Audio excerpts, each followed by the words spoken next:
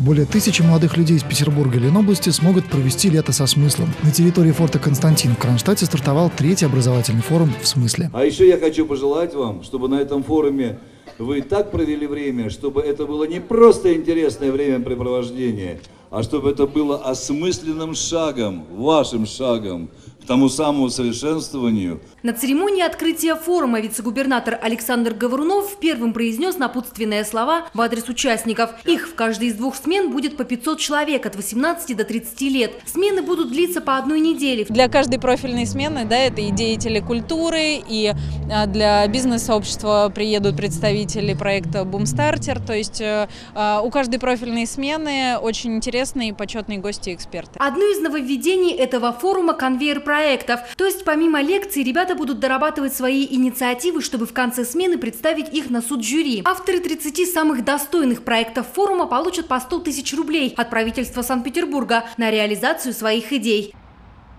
Одно из условий участия в форуме – проживание в палаточном лагере, поэтому отправиться ночевать в ближайшие гостиницы ребята не могут. Впрочем, подготовленную систему обслуживания организаторы называют all-inclusive. Здесь есть приличные туалеты, душевые с горячей водой, а также предусмотрено трехразовое питание.